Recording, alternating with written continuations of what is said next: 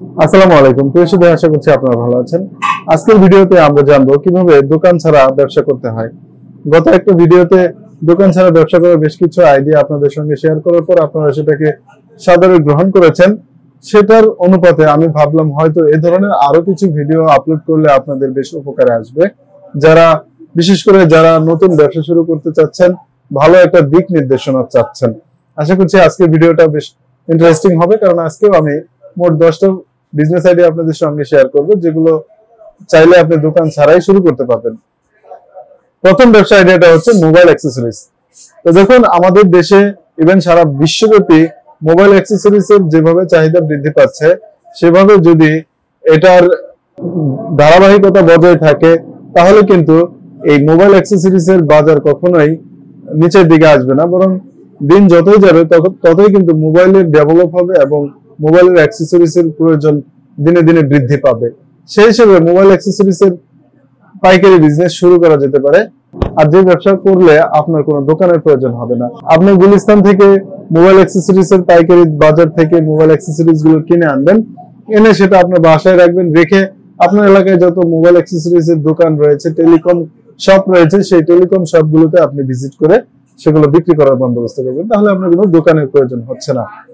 দ্বিতীয় ব্যবসা আইডিয়াটা হচ্ছে ক্লথস আইটেম অর্থাৎ পোশাক, পোশাকের ব্যবসা। পোশাকের ব্যবসা আপনি পাইকারিতে যদি শুরু করেন, তাহলে কিন্তু আপনার কোনো দোকানের প্রয়োজন হবে না। যেমন টি শার্টের বিজনেস শার্ট গেঞ্জি, প্যান্ট, এই এই প্রোডাক্টগুলো নিয়ে যদি ব্যবসা করেন, অনেক সময় দোকানের প্রয়োজন হয়। অনেক সময় দোকানের প্রয়োজন হয় না। টি শার্টের বিজনেস আপনি যদি পাইকারিতে করেন, আপনার পাইকারি বাজার থেকে কিনে আনবেন এক্সপোর্ট ইম্পোর্ট এক্সপোর্টের অনেক গেঞ্জি পাওয়া যায় এক্সপোর্টের প্যান্ট পাওয়া যায়, শার্ট পাওয়া যায়, সেগুলো আপনি কিনবেন। কিনে সেগুলো আপনার এলাকায় যত কাপড়ের দোকান আছে, সেগুলোতে বিক্রির বন্দোবস্ত করবেন। এছাড়া আপনি চাইলে বিভিন্ন লোকালি আমাদের বাংলাদেশে অনেক কারখানা, ছোট ছোট কারখানা তৈরি হয়েছে। সেই ছোট ছোট কারখানা থেকে আপনি প্যান্ট শার্ট, গেঞ্জি কিনে এনে সেগুলো সাপ্লাই দিয়ে চমৎকার একটা ব্যবসা করতে পারবেন।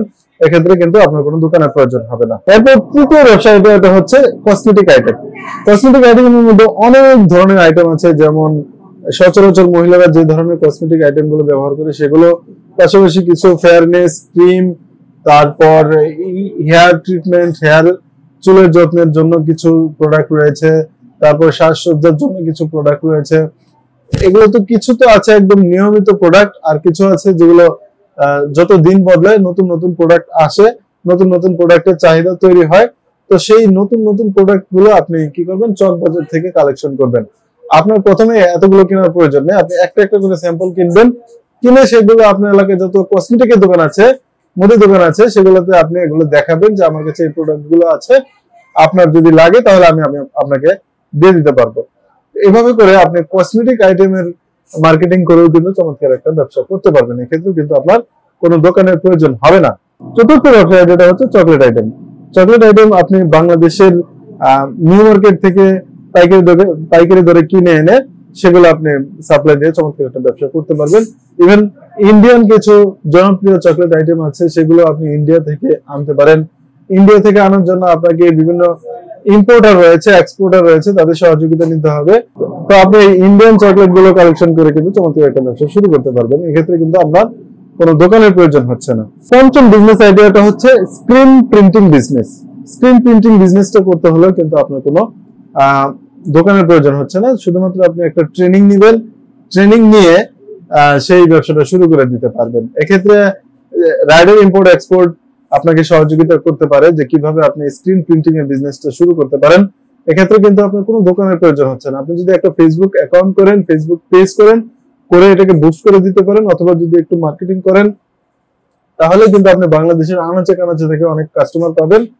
তো তাদের কাছ থেকে অর্ডার নিয়ে আপনি ভিজিটিং কার্ড পোস্টার স্কুলের ব্যানার ফেস্টুন ওয়াজ মাহফিলের ব্যানার ফেস্টুন পোস্টার এগুলো আপনি, এগুলো কাজ করে কিন্তু আপনি প্রচুর ইনকাম করতে পারবেন। হ্যাঁ? এর জন্য আপনার কোনো দোকানের প্রয়োজন হচ্ছে না। একটা ফেসবুক পেজ অথবা ফেসবুক অ্যাকাউন্টের মাধ্যমে কিন্তু আপনি এই ব্যবসাটা পরিচালনা করতে পারবেন। এরপর ষষ্ঠ ব্যবসা, আইডিয়াটা হচ্ছে পান সুপারি ব্যবসা। এটা শুনে অনেকে হাসতে পারেন, তবে এটা কিন্তু একটা চমৎকার ব্যবসা। আপনার এলাকায় যে সবচেয়ে বড় যে পাইকারি বাজারটা আছে, সেই পাইকারি বাজার থেকে আপনি পান এবং সুপারি কিনবেন। কিনে আপনার এলাকায় যত চায়ের দোকান আছে, সেই চায়ের দোকানগুলোতে আপনি পান, সুপারি সাপ্লাই দেওয়ার ব্যবস্থা করবেন।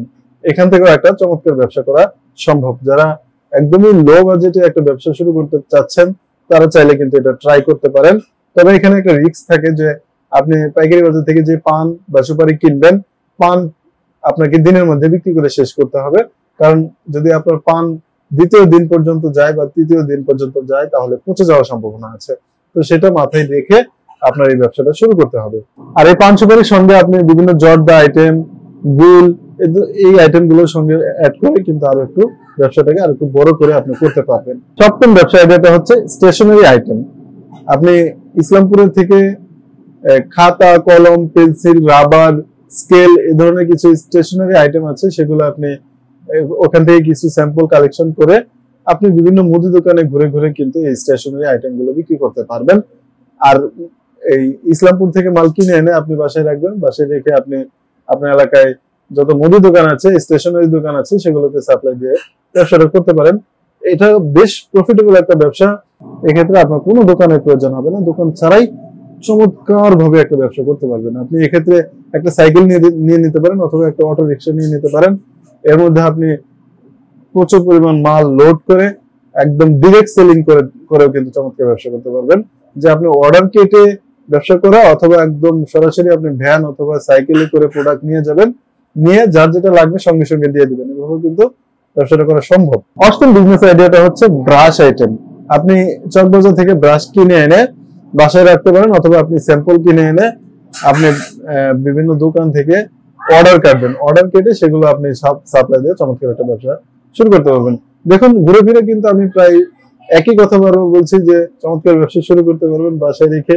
আসলে ব্যাপারটা এমনই, যদি আপনি শুরু করতে পারেন, আশা রাখছি আপনি অনেক কিছু অনেক ভালো করতে পারবেন দোকান থেকে ব্যবসা করতে চাইলে আরও একটা লাভজনক ব্যবসা হচ্ছে সবজির ব্যবসা। আপনি চাইলে একটা সবজির ব্যবসা শুরু করতে পারেন। এর জন্য আপনার দোকানের প্রয়োজন নাই। একটা ভ্যান কিনতে হবে। ভ্যানের মধ্যে আপনাকে সবজিগুলো সাজিয়ে এলাকায় এলাকায় ঘুরে ঘুরে বিক্রি করতে হবে। এই ব্যবসা করতে যদি আপনি লজ্জা পান, তাহলে আরও অনেকগুলো ব্যবসা আইডিয়া আপনাকে বলেছি। এগুলো থেকে যে কোনো একটা বেছে নিতে পারেন। তবে সবজির ব্যবসাটাও বেশ লাভজনক ব্যবসা। কিন্তু এটা একটা রিক্সি ব্যবসা। কারণ সবজি যদি আপনি দিনে দিনে বিক্রি করে শেষ না করতে পারেন, তাহলে কিন্তু পচে যাবে, পচে গেলে আর এটা পরবর্তীতে বিক্রি করা সম্ভব না। তাই সবজির ব্যবসা শুরু করার আগে অবশ্যই এটা মাথায় রাখতে হবে। তবে আরেকটা চমৎকার ব্যবসা আইডিয়া রয়েছে এই সবজির ব্যবসার মধ্যেই, সেটা হচ্ছে শুধুমাত্র শাক বিক্রি ব্যবসা।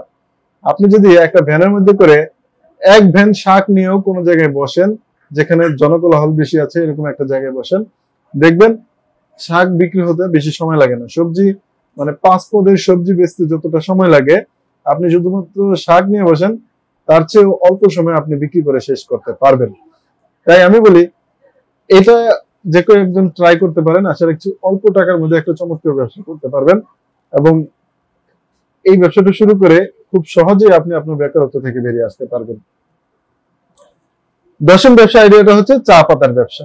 চা পাতার ব্যবসা খুবই চমৎকার একটা ব্যবসা। এটা আপনি চাইলে একটা ডিলারশিপ নিয়ে ব্যবসাটা শুরু করতে পারেন। এছাড়া আপনি চাইলে খোলা পঞ্চাশ কেজি বস্তাগুলো কিনে সেগুলো আপনি যে কোনো একটা লোকাল প্যাকেটে ভর্তি করে সিল করে বিক্রি করতে পারেন। হ্যাঁ এক্ষেত্রে কিন্তু আপনার লাভের পরিমাণটা একটু বেশি থাকবে। ডিলারশিপ নিয়ে ডিলারশিপ নিয়ে আপনি ব্যবসা করলে যতটা লাভ করতে পারবেন, যদি খোলা বস্তা কিনে প্যাকেটজাত করে বিক্রি করতে পারেন, সেক্ষেত্রে আরও বেশি প্রফিট করতে পারবেন।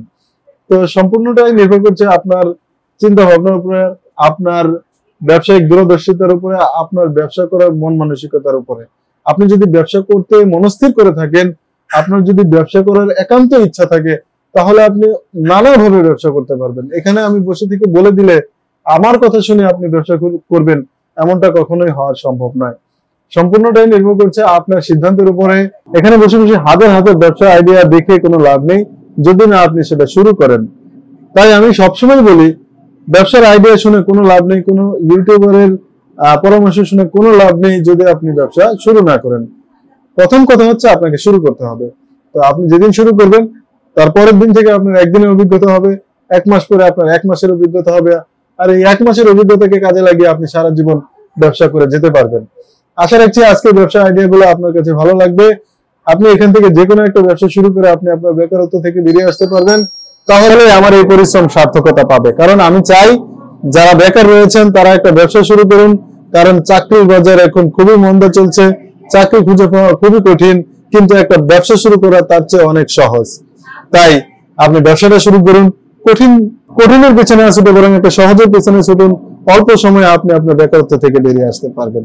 আশা রাখছি আপনারা ব্যবসায়ী জাতি গঠনে এগিয়ে আসবেন। দেশের উন্নতি, অগ্রসরে আপনিও ভূমিকা রাখবেন। সে আশীর্বাদ ব্যক্ত করে এখনকার মতো বিদায় নিচ্ছি। ভালো থাকবেন। খোদা হাফেজ।